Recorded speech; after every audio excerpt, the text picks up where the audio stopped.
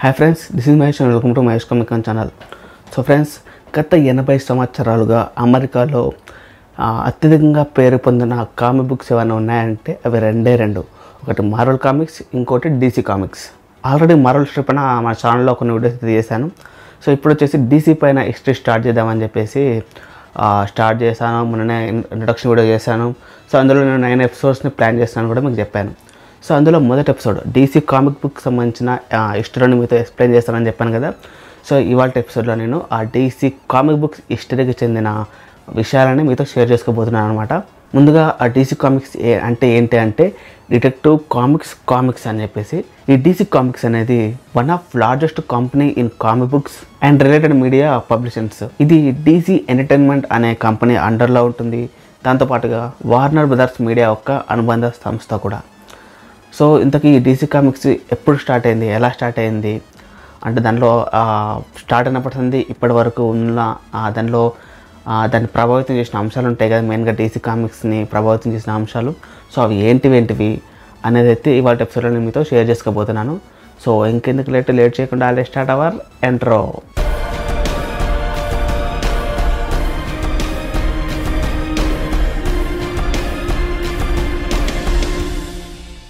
welcome back guys so DC Comics అని మనం ఇప్పుడు అంటున్నాం కానీ మొట్టమొదటిగా స్టార్ట్ అయినప్పుడు దీనికి వేరే పేరు ఉండేది ఫ్రెండ్స్ సో ముందుగా దీని ఆరిజిన్ ఎలా స్టార్ట్ అయిందని మనం మాట్లాడుకున్నట్టయితే నైన్టీన్ థర్టీ ఫోర్లో మేజర్ మాల్కమ్ అనే వ్యక్తి నేషనల్ అలైడ్ పబ్లికేషన్స్ అనే సంస్థను స్థాపించాడు. సో దీని ద్వారా వారు నైన్టీన్ థర్టీ ఫైవ్ ఫిబ్రవరిలో New Fun the big comic magazine అనే పుస్తకాన్ని ఫస్ట్ టైం పబ్లిష్ చేశారు.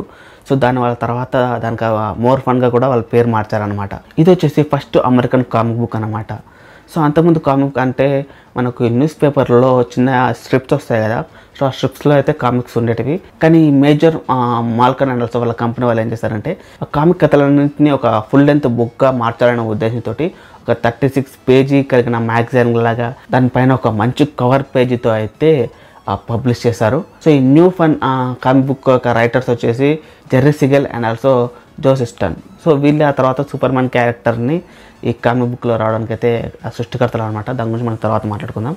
సో ఫస్ట్ అయితే వీళ్ళు ఈ న్యూ ఫన్ అనే కామిక్ బుక్ని నేషనల్ అలైడ్ పబ్లికేషన్స్ ద్వారా లాంచ్ చేశారు. సో ఇప్పుడు మనం చూసుకున్నట్టయితే డీసీ కామిక్స్ అంటే ఎక్కువగా సూపర్ హీరో కథలను అయితే చూస్తూ ఉంటాం కానీ సో అప్పట్లో ఇందులో నుంచి సూపర్ హీరో కథలు కాదు funny comics adventure comics western comics రొమాన్స్కు so వాటికి సంబంధించిన కథలని ఆ కామిక్ బుక్లో అయితే వాళ్ళు రిలీజ్ చేసేవారు అనమాట సో అలా వారు న్యూ ఫన్ మ్యాగజైన్ ద్వారా ఈ జనర్లో ఉండే కామిక్ బుక్స్ని రిలీజ్ చేసిన తర్వాత సెకండ్ కామిక్ బుక్గా వాళ్ళు అడ్వెంచర్ కామిక్స్ని తీసుకొచ్చారు. సో అడ్వెంచర్ కామిక్స్లో ఫైవ్ నాట్ త్రీ ఇష్యూస్ వచ్చాయి అండ్ ఆల్సో అది నైన్టీన్ ఎయిటీ త్రీ వరకు కూడా కొనసాగిందనమాట అంటే దగ్గర దగ్గరగా యాభై సంవత్సరాల వరకు అయితే కామిక్ బుక్స్ కొనసాగాయి. ఇది అడ్వెంచర్ కామిక్ బుక్స్ ఆ తర్వాత వారు వాళ్ళ కంపెనీ నుంచి థర్డ్ కామిక్ బుక్ ఆ డిటెక్టివ్ కామిక్స్ అనే ఆ మరో కామిక్ బుక్ని నైన్టీన్ థర్టీ సిక్స్లో స్టార్ట్ చేశారు.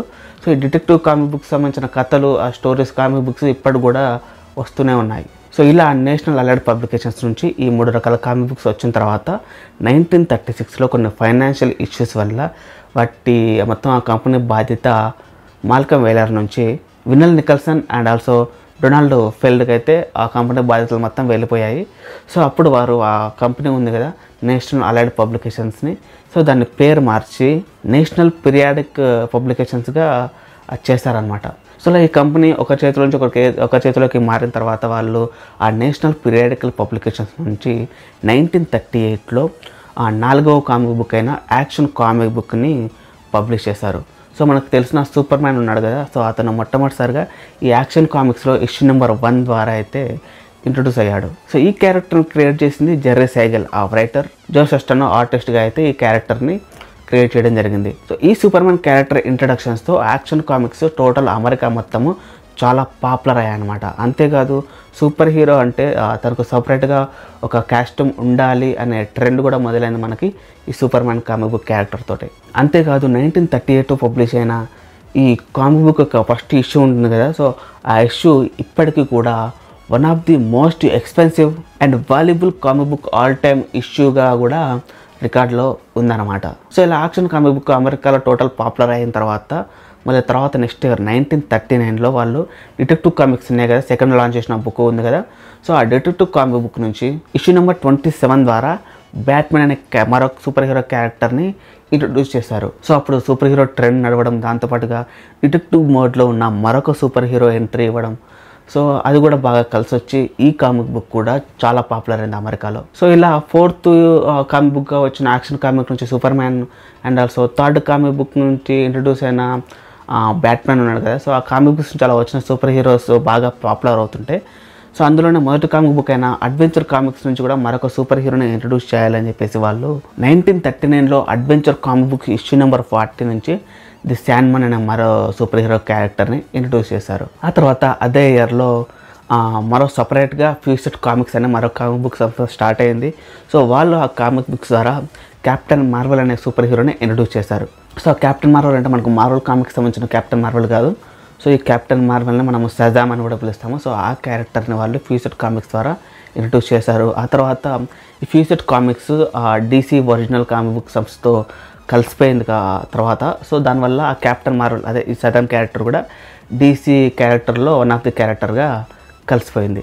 ఆ తర్వాత నేషనల్ పీరియాడికల్ పబ్లికేషన్స్ నుంచి నైన్టీన్ ఫార్టీ వన్లో ఆల్ స్టార్ కామిక్స్ ద్వారా వండర్ ఉమెన్ క్యారెక్టర్ని కూడా ఇంట్రడ్యూస్ చేశారు. So Wonder Woman character entry ఇవ్వగానే మళ్ళీ అదే ఇయర్లో మొట్టమొదటి సూపర్ హీరో టీం అయిన జస్టిస్ సొసైటీ ఆఫ్ అమెరికాని కూడా ఆల్ స్టార్ కామిక్ బుక్ నుంచే ఇష్యూ నెంబర్ త్రీ ద్వారా ఇంట్రడ్యూస్ అయితే చేశారు.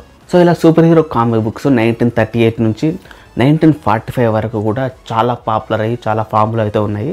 సో నేను మార్వల్ కామిక్స్ విషయంలో కూడా అదే చెప్పాను నేను. ఆ ఏరాలో అంటే ఆ టైం గ్యాప్లో అయితే మార్వల్ కామిక్స్ చాలా హై రేంజ్లో చాలా పాపులర్గా ఉన్నాయని చెప్పేసి సో అదే టైప్లో ఇక్కడ డీసీ కామిక్స్ కూడా చాలా పాపులర్గా ఉన్నాయి ఆ టైంని సో ఆ టైంని వీళ్ళు వచ్చేసి golden age of comic book era అని పిలిచేవారు అనమాట ఎందుకంటే ఆ టైంలో ఆ కామిక్ బుక్స్కి అంతలా పాపులారిటీ ఉంది కాబట్టి.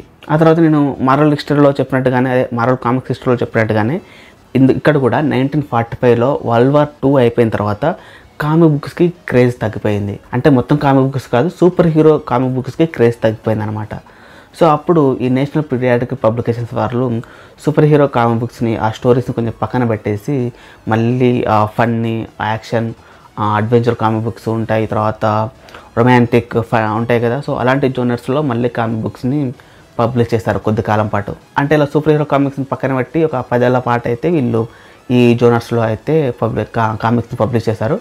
సో ఆ తర్వాత మళ్ళీ నైన్టీన్ ఫిఫ్టీ సిక్స్లో డీసీ ఎడిటర్ అయిన జూలియన్ స్వార్ట్స్ ఏం చేశాడంటే తనకున్న ముందు చూపుతో అన్న కానీ ఆల్సో తన పర్యవేక్షణలో డీసీ కామిక్ బుక్ క్యారెక్టర్స్ని మళ్ళీ కొత్తగా రీఇంట్రడ్యూస్ చేయాలనే ఉద్దేశంతో రాబర్ట్ కనెగర్ అనే writer and also Carmine Infantino అనే ఆర్టిస్ట్ సహాయంతో ఆ జూలియన్ పర్యవేక్షణలో పాత కామిక్స్ బుక్స్ ఉంటాయి కదా అంటే పాత కామిక్ క్యారెక్టర్స్ని రీఇంట్రడ్యూస్ చేయడానికి వాళ్ళు మళ్ళీ ఒకసారి ట్రై చేస్తారనమాట అంటే మళ్ళీ కామిక్ బుక్స్ మళ్ళీ సూపర్ హీరో కామిక్ బుక్స్ని తిరిగి తీసుకురావడానికి కొత్త స్టోరీతో కొత్తగా చూపించాలనే ఉద్దేశంతో మళ్ళీ తిరిగి తీసుకురావడానికి వాళ్ళు ఒక స్టెప్ అయితే ముందరికేస్తారు సో ఆ స్టెప్ అనేది బాగా సక్సెస్ అయిందనమాట అంటే నైన్టీన్ ఫార్టీ స్టార్టింగ్లో ఉన్న సూపర్ హీరోస్ ఉన్నారు కదా మన జస్టిక్ సొసైటీ టీం కానీ Wonder Man Flash Green Lantern ఆ జస్టిక్ సొసైటీ టీంలో ఉంటారు.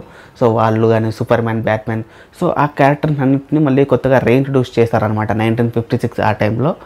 సో అప్పుడు మళ్ళీ ఆ కామిక్ బుక్స్ రిలీజ్ అయ్యాయి.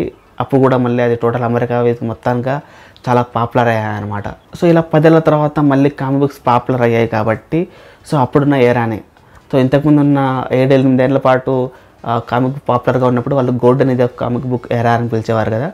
సో మళ్ళీ నైన్టీన్ ఫిఫ్టీ సిక్స్ నుంచి కామిక్ బుక్ పాపులర్ అయ్యేసరికి వాళ్ళు ఆ ఏరాని వచ్చేసి silver age of comic books ఏరాగా పిలిచారనమాట సో ఇదే సిల్వర్ ఏజ్ కామిక్ బుక్ ఏరాల్లో మార్వల్ కామిక్స్ కూడా అప్పట్లో చాలా పూర్గా అయితే నడిచిందనమాట. కాకపోతే నైన్టీన్ ఫిఫ్టీ సిక్స్లో ఇలా డీసీ కామిక్ వాళ్ళు వాళ్ళ కామిక్ బుక్ క్యారెక్టర్ని కొత్త కొత్తగా ఇంట్రొడ్యూస్ చేయడం ద్వారా వీళ్ళు కామిక్ బుక్స్ ఫేమస్ అయినప్పుడు సో మార్వల్ కూడా అదే టైంలో మన డీసీని ఫాలో అయ్యి వాళ్ళ క్యారెక్టర్స్ కూడా తిరిగి కొత్త కొత్త క్యారెక్టర్ని క్రియేట్ చేయడం కొత్త కొత్త సూపర్ హీరోస్ని ఇంట్రొడ్యూస్ చేయడం లాంటివి స్టార్ట్ చేసింది అనమాట సో ఇలా డీసీ కామిక్ బుక్ హిట్ అవుతుంది కాబట్టి అదే టైంలో మార్వల్ కామిక్స్ కూడా వాళ్ళ కొత్త కొత్త స్టోరీస్ని ఇంట్రొడ్యూస్ చేసే వరకు వీళ్ళతో పాటు ఈ మార్వల్ కామిక్స్ కూడా బాగా పాపులర్ అయ్యాయి ఆ టైంలో.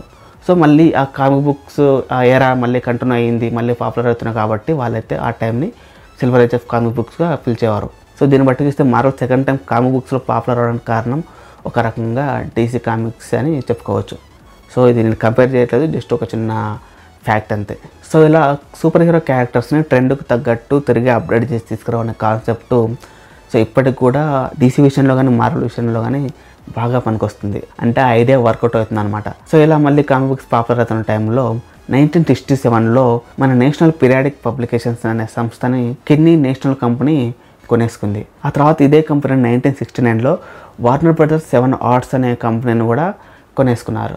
సో ఇలా నైన్టీన్ సిక్స్టీ సెవెన్లో దాన్ని నైన్టీన్ సిక్స్టీ నైన్లో ఈ వార్నర్ బ్రదర్స్ కంపెనీ కొన్న తర్వాత ఈ కిన్నీ నేషనల్ కంపెనీ వాళ్ళు నైన్టీన్ సెవెంటీ టూలో వాళ్ళ కంపెనీ పేరు మార్చి వార్నర్ కమ్యూనికేషన్స్గా మార్చారు. అంతేకాదు వాళ్ళ తమ మేనేజ్మెంట్ మొత్తాన్ని కూడా వార్నర్ కమ్యూనికేషన్స్గా ఇచ్చేశారు. అండ్ ఇదిలా ఉండగా మధ్యలో నైన్టీన్ సెవెంటీలో మార్వల్ కామిక్స్కి చెందిన జాక్ కెర్బీ అనే ఆర్టిస్టు నైన్టీన్ సెవెంటీ ఆ టైంలో డీసీ కంపెనీ వైపు వచ్చేసాడు అనమాట అంటే త్రీ ఇయర్ కాంట్రాక్ట్ బేస్ మీద వచ్చేసాడు. ఆ తర్వాత అతను ఫైవ్ ఇయర్స్ ఆ కంపెనీలో అయితే వర్క్ చేశాడు. సో ఇతను మార్వల్లో అయితే చాలానే సూపర్ హీరోస్ క్యారెక్టర్ని క్రియేట్ చేశాడు అప్పటివరకు క్యాప్టెన్ అమెరికా కానీ Fantastic Four Iron Man Hulk Black Panther థియేటర్నర్స్ so ఇలాంటి పవర్ఫుల్ క్యారెక్టర్ని అతను మార్వల్ కామిక్స్లో క్రియేట్ చేసిన తర్వాత మళ్ళీ డీసీకి వచ్చిన తర్వాత డీసీలో కూడా డీసీలోనే పవర్ఫుల్ విలన్ని అదే డార్క్ సైడ్ని క్రియేట్ చేశాడు. అంటే ఫస్ట్ టైం ఇంట్రడ్యూస్ చేసింది మనకు ఈ జాక్ కర్బీయే సో ఆ డార్క్ సైడ్ అనేది ఎంత పవర్ఫుల్ క్యారెక్టరో మనకి కామిక్ బుక్స్లో కానీ ఆ టీవీ సిరీస్లో కానీ ఇప్పుడు నెక్స్ట్ రాబోయే స్నాడర్ కట్లో కానీ చూసి తెలుస్తుంది. సో ఇలా డీసీ కామిక్స్కి చాలా పవర్ఫుల్ విలన్ అందించింది మన జాక్ కెర్బీ అనమాట సో ఇదిలా ఉండగా నైన్టీన్ సెవెంటీలోనే కామిక్ బుక్స్లో కొన్ని స్టోరీస్ని మార్చారనమాట అంటే అప్పటి వరకు ఉన్న స్టోరీస్ని కొంచెం చైల్డ్స్గా కాకుండా కొంచెం అడల్ట్ లెవెల్లో కామిక్ బుక్స్ని రాయాలనే ఉద్దేశంతో సో ఈ కంపెనీకి చెందిన వాళ్ళు అదే నేషనల్ పీరియాడికల్ పబ్లికేషన్ చెందిన వారు వాళ్ళ కామిక్ బుక్లోని కథలు ఉంటాయి కదా. సో ఆ కథలను కొంచెం వైవిధ్యంగా అంటే అడల్ట్ కూడా నచ్చేలా కొన్ని ఎలిమెంట్స్ని యాడ్ చేసి రిలీజ్ చేస్తారనమాట నైన్టీన్ సెవెంటీస్లో. సో అది చూసుకున్నట్టయితే వాళ్ళు Green Arrow and also Green Lantern comic బుక్స్లలో కొన్ని సామాజిక సమస్యలకు సంబంధించిన అంశాలు లైక్ వచ్చేసి డ్రగ్స్ డీలింగ్ కానీ జాతి సంబంధాలు పొల్యూషన్ సో ఇలాంటి ఉంటాయి కదా కొన్ని సామాజిక సామాజిక ప్రాబ్లమ్స్ ఉంటాయి కదా. సో వాటిని కూడా వీళ్ళు ఆ కామిక్ బుక్స్లో వాడరు అనమాట సో అప్పటి వరకు ఉండే ఫ్యాంటసీ కథలనే కాకుండా రియలిస్టిక్గా మన సిచ్యువేషన్స్ తగ్గట్టు సామాజికంగా ఉన్న ప్రాబ్లమ్స్ కామిక్ బుక్స్లో చూపించాలనే ఉద్దేశంతో Dennis O'Neil and also artist Neal Adam so వీళ్ళు కృషి చేశారనమాట అదే ఇందాక చెప్పాను కదా గ్రీన్ ఆరో గ్రీన్ ల్యాంటర్న్ క్యారెక్టర్ని అలా చూపించారని చెప్పేసి. సో ఆ క్యారెక్టర్నే కాదు బ్యాట్మ్యాన్ క్యారెక్టర్స్ని కానీ సూపర్ మ్యాన్ క్యారెక్టర్స్ని కానీ వీరితో పాటు ఇతర డీసీ క్యారెక్టర్స్ని కూడా కొన్ని ప్రతిభావంతమైన స్టోరీ లైన్స్తో కామిక్ బుక్స్లో చూపించడం జరిగిందనమాట సో అలా ఇలాంటి విషయాలను కూడా కామిక్ బుక్స్లో చూపించడం అనేది సో దాన్ని కూడా ఒక పీరియడ్గా వాళ్ళు తీసుకొని ఆ ఏరాని అంటే నైన్టీన్ సెవెంటీస్లో ఉన్న కామిక్ బుక్ ఏరాని వాళ్ళు bronze age of comic book era అని పిలిచేవారు అనమాట అంటే డీసీ కామిక్స్ అనే కాదు మార్వల్ కామిక్స్ కూడా ఈ టైంలో నైన్టీన్ సెవెంటీస్ ఆ టైంలో ఇలాంటి సామాజిక అంశాలని వాళ్ళ కామిక్ బుక్స్లో కూడా కలిపేస్తారనమాట ఆ తర్వాత నైన్టీన్ సెవెంటీ సెవెన్లో ఈ వార్నర్ బ్రదర్స్ కమ్యూనికేషన్స్ కంపెనీ వాళ్ళు ఈ మన నేషనల్ పీరియాడికల్ పబ్లికేషన్స్ సంస్థ ఉంది కదా సో ఆ సంస్థ నేమ్ని డీసీ కామిక్స్గా మార్చేశారు. అంతేకాదు వాళ్ళు వాళ్ళ కామిక్ బుక్స్లో స్టోరీస్ ఉంటాయి కదా ఇప్పుడు సపరేట్ సపరేట్ స్టోరీస్ ఉన్నాయి. Batman story separate Superman story separate అదే వివిధ సూపర్ హీరో సంబంధించిన స్టోరీస్ సపరేట్ సపరేట్గా ఉన్నాయి కదా. సో ఆ సపరేట్ సపరేట్ స్టోరీస్ మొత్తము ఒకటే యూనివర్స్లో ఒకటే ఫిక్షనల్ యూనివర్స్లో ఉంటాయి అని చెప్పేసి కూడా అప్పుడే కన్ఫర్మ్ చేసేసారు వాళ్ళు. ఆ నైన్టీన్ సెవెంటీ సెవెన్ ఆ టైంలో ఆ తర్వాత మళ్ళీ నైన్టీన్ ఎయిటీలో టీన్ టైటన్స్ అనే మరో కొత్త సూపర్ హీరో టీమ్ ఇంట్రొడ్యూస్ చేశారు. ఆ తర్వాత ఆ కామిక్స్ కూడా బాగా అందరికీ నచ్చేలా ఉన్నాయి. దీని తర్వాత నైన్టీన్ ఎయిటీ ఫైవ్లో వాళ్ళు అంటే అప్పటివరకు వాళ్ళు కామిక్ బుక్ స్టార్ట్ చేసి యాభై ఏళ్ళు అవుతుంది అనమాట అంటే నైన్టీన్ థర్టీ ఫైవ్ నుంచి నైన్టీన్ ఎయిటీ ఫైవ్ వరకు. సో వాళ్ళు ఏమనుకున్నారంటే ఇలా ఫిఫ్టీ ఇయర్స్గా ఉన్న కామిక్ బుక్స్ని కొత్తగా చదివే రీడర్స్ చదివినప్పుడు వాళ్ళు కొంచెం కన్ఫ్యూజన్కి గురయ్యే అవకాశం ఉందని చెప్పేసి మన డీసీ కామిక్స్ వాళ్ళు వాళ్ళ దగ్గర ఉన్న కామిక్ బుక్ క్యారెక్టర్స్ని మళ్ళీ కొత్తగా రీబూట్ చేసి రిలీజ్ చేయాలని అనుకున్నారు. దానికి వారు writer Mark Wolfman and artist George Perez కలిసి crisis and infinity earth issue number ట్వెల్వ్ని launch చేశారు. ఈ కామిక్ బుక్ ద్వారా వాళ్ళ దగ్గర ఉన్న సూపర్ హీరో క్యారెక్టర్ని కొత్తగా మళ్ళీ రీబూట్ వర్షన్లో చూపించడం జరిగిందనమాట ఫర్ ఎగ్జాంపుల్ తీసుకున్నట్టయితే మన సూపర్ మ్యాన్ క్యారెక్టర్ ఉంది కదా. సో ఆ సూపర్ మ్యాన్ క్యారెక్టర్ని నైన్టీన్ ఎయిటీ సిక్స్లో మ్యాన్ ఆఫ్ స్టీల్ అనే పేరుతో జాన్ బైర్ను మళ్ళీ తిరిగి తీసుకొచ్చాడు అనమాట అంటే రీబూట్ వర్షన్ని ఆ సూపర్ మ్యాన్ క్యారెక్టర్ మొత్తం యొక్క స్టోరీని కొంచెం ఆధునీకరించి సూపర్ మ్యాన్ కాకుండా మ్యాన్ ఆఫ్ స్టీల్ అనే టైటిల్ మార్చి మళ్ళీ తిరిగి తీసుకొచ్చాడు. ఆ తర్వాత ఫ్రాంక్ మిల్లర్ ఈ ఫ్రాంక్ మిల్లర్ మన బ్యాట్మెన్ క్యారెక్టర్ ఉంటుంది కదా. సో ఆ బ్యాట్మెన్ క్యారెక్టర్ని ఆ స్టోరీ మొత్తాన్ని మళ్ళీ కొత్తగా ఆధునీకరించి నైన్టీన్ ఎయిటీ సెవెన్లో ఇయర్ వన్ అనే పేరుతో మన బ్యాట్మెన్ అడ్వెంచర్స్ మొత్తాన్ని మళ్ళీ తిరిగి తీసుకురావడం జరిగింది. సో ఇలా ఆధునీకరించబడిన క్యారెక్టర్లు వాటి కామిక్ బుక్స్ కూడా మరొకసారి బాగా పాపులర్ అయ్యాయి. ఆ తర్వాత నైన్టీన్ నైన్టీలో వచ్చిన డెత్ ఆఫ్ సూపర్ మ్యాన్ అనే క్రాస్ ఓవర్ ఈవెంట్ అందులో ఉంటుంది. సో ఆ కామిక్ బుక్ ఈ క్రాస్ ఓవర్ ఈవెంట్తో ఉన్న ఈ కామిక్ బుక్ అనేది కొన్ని మిలియన్ కాపీల వరకు అయితే అమెరికాలో అమ్ముడుపోయాయి. సో అప్పుడు ఈ డీసీ కామిక్స్కి చాలా లాభాలు వచ్చాయన్నమాట. ఈ డెత్ ఆఫ్ సూపర్ మ్యాన్ అనే కామిక్ బుక్ ద్వారా.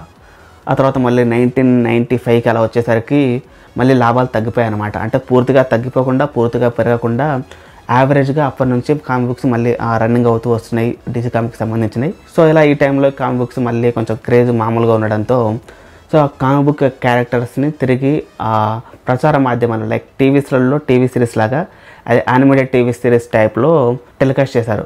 సో అంటే అప్పుడు నైన్టీన్ నైన్టీ టూలో వచ్చిన బ్యాట్మ్యాన్ ఆ తర్వాత వచ్చిన జస్టిస్ లీగ్ అనే టీవీ సిరీస్లు సో అవి కూడా మెల్లమెల్లగా ప్రజాదరణ పొందుతూ వచ్చాయి అనమాట అంటే పాపులర్ అవుతూ వచ్చాయి.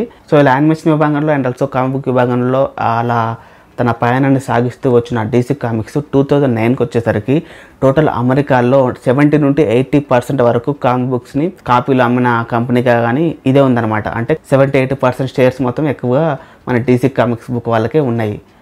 సో టూ థౌజండ్ నైన్లో ఇలా ఉన్న తర్వాత టూ థౌజండ్ టెన్లో మన డీసీ కామిక్స్ వాళ్ళ కామిక్ బుక్ని ఫ్లాష్ ప్యాంట్ అనే స్టోరీ లైన్తో డిజిటల్ కామిక్ బుక్ వర్షన్లో రీబూట్ చేసి తీసుకొచ్చారు.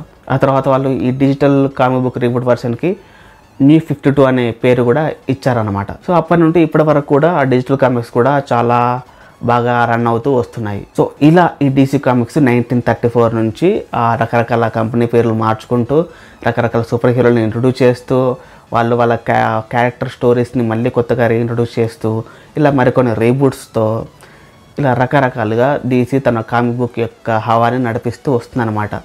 నైన్టీన్ థర్టీ ఫోర్ నుంచి ఇప్పుడు టూ థౌజండ్ ట్వంటీ వరకు కూడా. సో ఇది ఫ్రెండ్స్ ఇవాళ వీడియో అంటే డీసీ కామిక్ హిస్టరీలో మెయిన్ మెయిన్ పాయింట్స్ అనమాట అంటే ఏ ఏ ఇయర్లో ఏ దాన్ని ప్రభావితం చేసిన అంశాలు ఏమి జరిగాయి అనే మెయిన్ మెయిన్ విషయాల గురించి అయితే ఈ వీడియోలో నేను మీతో షేర్ చేసుకోవడం జరిగింది. సో ఇది ఫ్రెండ్స్ ఇవాళ వీడియో మన డీసీ కామిక్ బుక్ హిస్టరీ గురించి. సో ఈ వీడియో మీకు ఎలా అనిపించింది? అంతపాటుగా ఈ కామిక్ బుక్స్లో మీరు ఒకవేళ ఏమైనా కామిక్ బుక్స్ చదువుంటే మీరు డీసీకి సంబంధించినవి. సో మీ ఫేవరెట్ కామిక్ బుక్ ఏమైనా ఉందా అనేది కింద కామెంట్ బాక్స్లో మెన్షన్ చేయండి. దాంతోపాటుగా ఈ కామిక్ బుక్స్ సంబంధించిన సపరేట్గా ఏమైనా డౌట్స్ ఉంటే కూడా అవి కూడా కింద కామెంట్ బాక్స్లో మెన్షన్ చేయండి. అండ్ మీకు కనుక ఈ వీడియో నచ్చితే ఖచ్చితంగా లైక్ చేయండి. మీతో పాటు డీసీ మా మూవీస్ని కానీ డీసీ టీవీ సిరీస్ని కానీ డీసీ కామిక్ బుక్స్ కానీ ఇష్టపడే మీ ఫ్రెండ్స్కి ఈ వీడియోని షేర్ చేయండి. అండ్ ఇలాంటి మరిన్ని వీడియోల కోసం నా ఛానల్ సబ్స్క్రైబ్ చేసుకోండి. పక్కన బెల్లైకన్ ఉంటుంది. దాన్ని కనుక క్లిక్ చేసి యాక్టివేట్ చేసుకున్నట్టయితే నేను డైలీ ఇలా వీడియో పెట్టగానే మీకు అలా నోటిఫికేషన్ వచ్చేస్తూ ఉంటుంది. అండ్ మీ సలహాలు సందేహాలు ఏమైనా ఉంటే కింద కామెంట్ బాక్స్లో మెన్షన్ చేయండి. నేనైతే ప్రతి ఒక్క కామెంట్కి అయితే రిప్లై అయితే ఇస్తాను. అండ్ ఫైనల్లీ నేను మీ Mahesh signing by now Jai Hind